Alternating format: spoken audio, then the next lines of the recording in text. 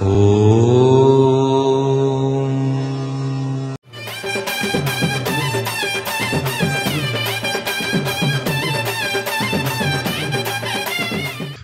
வணக்கம் வணக்கம். என் பெயர் white and white line Nallappa Neelkanth Siva. Munishwar அல்வாக சித்தர் பேசுகிறேன் நான் பல நாடுக்கு சென்று வரைக்கும் தெரியும் உங்களுக்கு. Ilangai Malaysia Singapore.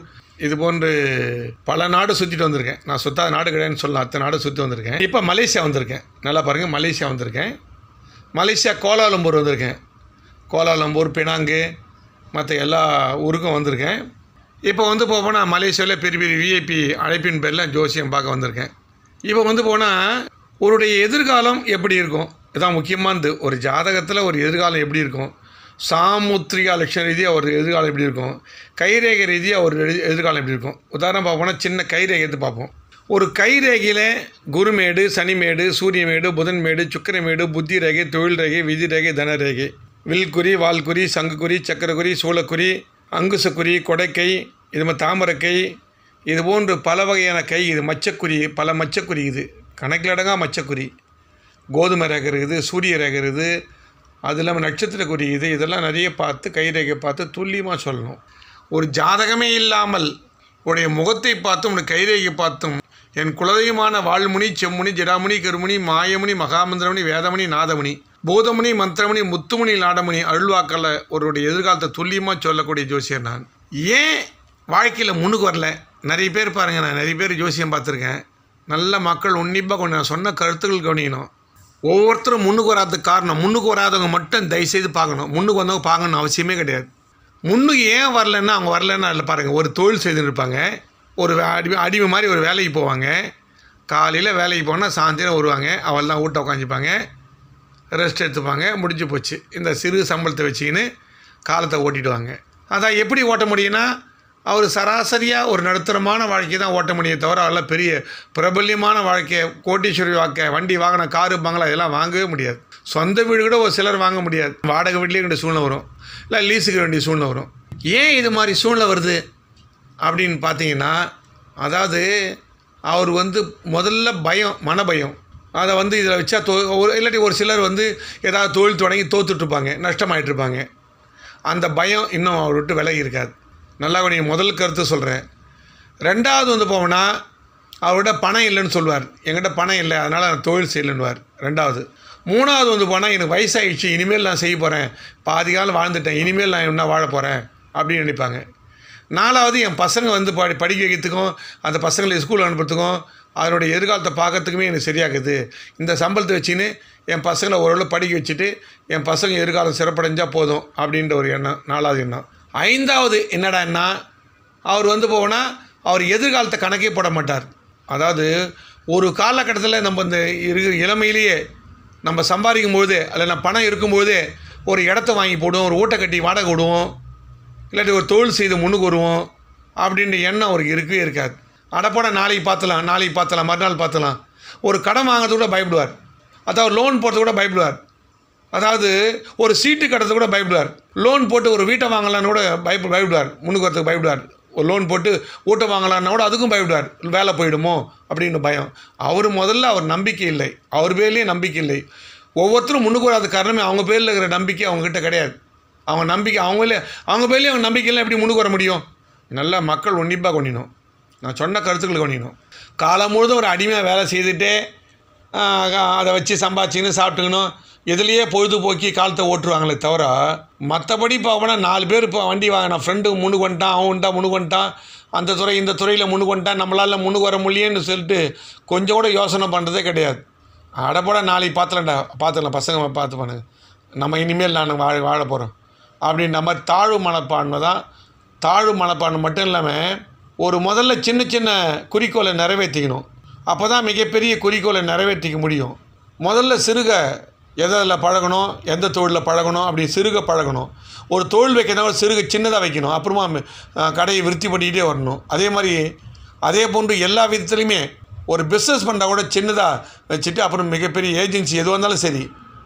அது ரியல் எஸ்டேட்டாக இருக்கலாம் அல்லது கொடுக்கல் வாங்கல் சம்மந்தமாக இருக்கலாம் வாங்கி விற்கிறதா இருக்கலாம் அதாவது ஒரு எந்த ஒரு கடை கண்ணியாக இருக்கலாம் எதுவாக இருந்தாலும் முதல்ல சிறுகு கட்டி தான் மிகப்பெரிய பிரமாதமாக பெ பெருசாக்க முடியும். இதுக்கெல்லாம் எதுக்காக இதெல்லாம் சொல்ல வரேன்னா இவங்கெல்லாம் முன்னுக்கு வராதுக்கு காரணமே அவங்க ஜாதக ரீதியாக நல்லா கொணியணும் அவங்க ஜாதக ரீதியாக உள்ள குறைபாடு ஒரு ஒன்று உண்டு ஒன்று உண்டு சொல்லலாம்.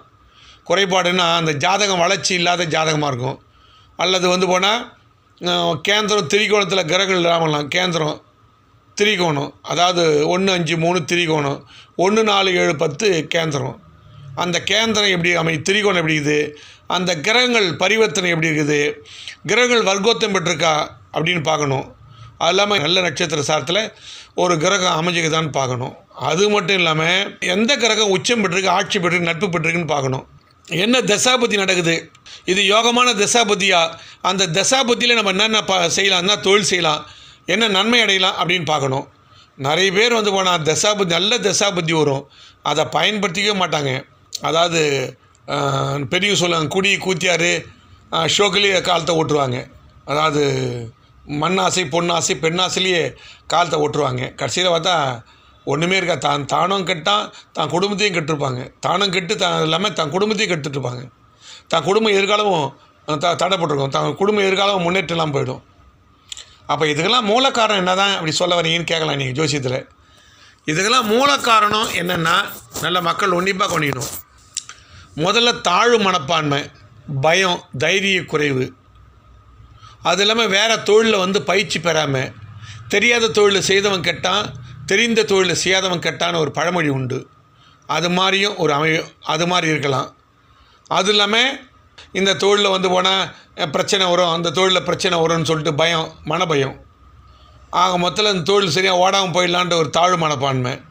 இது போன்று பல வகையில் மனதைரிய குறைவு தான் அதாவது ஒரு போல்டாக எல் எப்படிப்பட்ட பிரச்சனை எதிர்கொள்ளக்கூடிய தன்மை இல்லாத தான் காரணம். பாருங்கள் உதாரணம் சின்ன சின்ன உதாரணம் சொல்கிற பாருங்க. ஒரு அரசியலில் பார்த்தீங்கன்னா பல முறை தோத்தாலும் அந்த மீண்டும் மீண்டும் அந்த கட்சியில் அந்த கட்சிக்காக பாடுபட்டு அந்த கட்சியில் ஒரு கண்ணி கட்சியில் ஒரு ஆட்சி அமைக்கக்கூடிய சூழ்நிலை வரும். ஆனால் எதிர்கட்சி வந்து பாடுபட்டுக்கிட்டே இருப்பாங்க முயற்சி பண்ணிக்கிட்டே இருப்பாங்க. ஆனால் கடைசியில் ஒரு ஆளுங்கட்சியாக வந்துடுவாங்க அதே போன்று கலைத்துறையில் பலமுறை படம் ஓடாது. பலமுறை நஷ்டமாயிடும். பல முறை நடிப்பில் வந்து பிரகாசிக்கலாமல் போயிடலாம். அது இல்லாமல் கடைசியில் ஒரு நாளில் பிரகாசிப்பார் நடிப்புத்துறையில் அது எந்த நடிகராக இருந்தாலும் நடிகையாக இருந்தாலும் யாராக இருந்தாலும் சரி. அப்போது முயற்சி பண்ணிகிட்டே இருக்கணும். கலைத்துறையாக இருந்தாலும் அரசியல் துறை தொழில்துறையாக இருந்தாலும் சரி தொழிலில் பலமுறை நஷ்டம் வரலாம். ஆனால் முயற்சி பண்ணிகிட்டே இருக்கணும். ஆனால் கட்சியில் ஒரு காலத்தில் அந்த தொழிலில் முன்னுக்கு வந்துடலாம். அதே மாதிரி எந்த துறையாக இருந்தாலும் அந்த துறையில் முயற்சி பெற்றும் பயிற்சி பெற்றும் அனுபவப்பட்டும் பலமுறை பல வெற்றியும் தோல்வியும் வீரர் கழகு பலமுறை முயற்சி பண்ணி பண்ணி பண்ணி கட்சியில் வெற்றி பெற்றிடலாம். அதில் மா எல்லளவு மாற்றமே கிடையாது. ஆனால் பயந்துட்டோம்னா வாழ்க்கையில் வெற்றி பெறவே முடியாது. பயந்துட்டோம்னா வாழ்க்கையில் கட்சிகளும் ஒரு அடிமை தொழிலில் வேலை செய்யிட்டு கட்சிகளும் காலத்தை ஓட்டின்னு சராசரி வாழ்க்கையை நான் தானும் நிம்மதியாக வாழாமல் தன் பிள்ளைங்களும் நிம்மதியாக வாழாமல் தன் பிள்ளைங்களுக்கும் சொத்து பத்து சேர்த்து வைக்காமல் தானுக்கும் தனக்கும் கடைசி காலத்தில் எந்த சொத்து பத்து சேர்த்துக்காமல் கடைசி காலத்தில் வறுமையிலையும் துன்பத்திலையும் துயரத்திலையும் நோயிலையும் உயிரை விட வேண்டிய சூழ்நிலை வரும். மருத்துவம் கூட பார்த்துக்க முடியாத சூழ்நிலை வரும். ஏன்னா மிகப்பெரிய நோய் நோயாக இருக்கும். அதுக்கு மருத்துவம் பார்க்க முடியாமல் அற்ப ஆயுசில் போய் இறக்க வேண்டிய சூழ்நிலை வரும். நிறைய பேர் பாருங்கள் உடல்நிலை செத்து செத்து போயிடறாங்கன்னா வசதி இல்லாதவங்களாம் நிறைய பேர் செத்து போகிறாங்கன்னா காரணம் என்ன? மருத்துவம் பார்த்துக்கலாம தான் மருத்துவம் போட. அதுனா செய்து போட? நம்ம இருபதுல செத்துட்டு போயிடலாம். நம்மளை யார் பார்த்து பிள்ளைங்களும் மதிக்கல பொண்ணு மதிக்கல? நம்ம சொத்து சேர்த்து வைக்கல. பிள்ளைங்க கேட்குதுங்க நீ என்ன சொத்து சேர்த்து வச்சின்னு கேட்குதுங்க பிள்ளைங்க. அப்படி நம்ம வாழ்ந்து என்ன போகிறோம் நம்ம நம்ம காலத்தை வேஸ்ட் பண்ணிட்டோம். நம்ம முன்னாடியே ஏதாவது அறிவுபூர்வமாக வேலை செய்து எத- என் ஃப்ரெண்ட்ஸும் பேச்சு கேட்டால் மற்றவங்க பேச்சு கேட்டுருந்தா கூட முன்னுக்கு வந்துக்கலாம். அந்த இடம் வாங்கி போடுனாங்க வாங்கி போட்டுருந்தா நீ பணக்காரன் ஆகிக்கலாம் நம்ம வந்து போனால் புத்தி ஓடலை அப்படின்வாங்க புத்திலாம் ஓடாது தானாக ஓடாது. அதுதான் மாதா பிதா குரு தெய்வம். அதுதான் வந்து ஆலோசனை மிக ஜோதிட ஆலோசனை மிக மிக அவசியம்.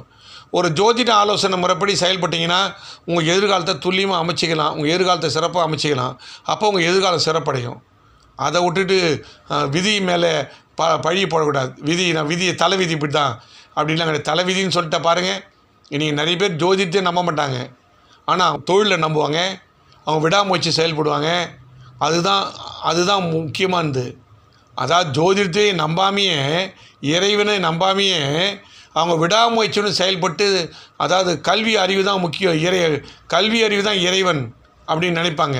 அதே போல் விடாமுயற்சி தான் அதை நம்ம தொழிலில் முன்னுக்கு வர முடியும் அப்படின்னு நினைப்பாங்க. அது அவங்களால தான் முன்னுக்கு வர முடியும். தாழ்வு மனப்பான்மை வச்சு தான் முன்னுக்கு வரவே முடியாது. நம்ம தோற்றுருவோம் நம்மளால் முடியாது. நம்ம இதில் போட்டால் மூலம் ஜெயிக்க மு- ஜெயிக்க முடியாது. அப்படின்னு நினைக்கக்கூடாது. அதாவது நம்ம எப்படா முன்னுக்கு வர போகிறோம் நம்ம எந்த தொழிலும் கற்றுக்க முடியலையே. நம்ம ஒன்றும் எந்த வேலைக்கும் எந்த வேலைக்கும் போகலையே. நம்ம எப்படா முன்னுக்கு வர நினைக்கவே கூடாது உங்கள் பல தொழிலை கற்றுக்கலாம். பல பிரச்சனை உதாரணமாக எனக்கு தெரிஞ்ச ஒருத்தர் என்ன செய்தார்? ஒரு இன்டர்வியூ அட்டன் பண்ணுறார் எட்டி இன்டர்வியூ அட்டன் பண்ண உடனே அவருக்கு என்ன சொல்கிறாங்க இந்த வேலை தெரியுமா அந்த வேலை தெரியுமான்னு கேட்குறாங்க அவருக்கு உண்மையிலேயே தெரியாது வேலை. ஆனால் எனக்கு தெரியும்னு சொல்லிடுறார். தெரியும்னு சொல்லிட்டு என்ன செய்கிறாருன்னா போய் ஒரு ஆறு மாதம் பொறுத்து நீ அப்பாயின்மெண்ட் ஆர்டர் ஆறு மாதம் கொடுத்து வாங்கிக்கிட்டாங்க இன்னொரு சிலருக்கு ஒரு மூணு மாதம் கொடுத்து வாங்கிக்கிட்டாங்க உடனே என்ன செய்கிறார் அவர்? உடனே அந்த தொழில் தெரியாது அந்த தொழில் தெரியாது இல்லையா? அது உடனே பயிற்சி பெறுறார். அந்த தொழிலில் பயிற்சி பெற்று கப்பாக முயற்சி பண்ணி எவ்வளோ குயிக்காக முயற்சி பண்ணுமோ அந்த தொழில் துறையில் பயிற்சி பெறுறார். பயிற்சி பெற்று கடைசியில் அந்த தொழிலை கற்றுக்கிறார் அங்கே இன்டர்வியூவில் வந்து இது பண்ண உடனே அட்டன் பண்ண உடனே அந்த தொழில் வந்து வெற்றிகரமாக முடிக்கிறாரு. அந்த தொழிலில் பிரகாசியாக அவர் பெரிய முதலாளியும் ஆயிடுறார் ஒரு காலத்தில். எதுக்காக இதெல்லாம் சொல்ல வரேன்னா நம்ம தெரியாது எதுவுமே கிடையாது. நம்ம தெரிஞ்சுக்கணும். எந்த துறையாக இருந்தாலும் அந்த துறையில் பயிற்சி பெறணும். பயிற்சி பெற்றால் தான் முன்னுக்கு வர முடியும். வீட்லேயே உட்காந்துன்னு வந்து போனால் பெரியவங்க சொல்லுவாங்க அது மாதிரி வாழ்க்கை பூரா வெற்றி பெற முடியாது. எந்த துறையாக இருந்தாலும் முடியாதுன்னா பயிற்சி பெறணும். பயிற்சி பெற்றால் தான் வெற்றி பெற முடியும். பல முறை பயிற்சி பெறணும். பயிற்சி பெற்றால் அந்த துறையில் ஜெயிக்க முடியும். எனவே வாழ்க்கையில் முன்னுக்கு வரணும் என்னை ஒரு முறை சந்திங்க. வாழ்க்கையில் வெற்றி பெறுவீங்க. நன்றி வணக்கம்.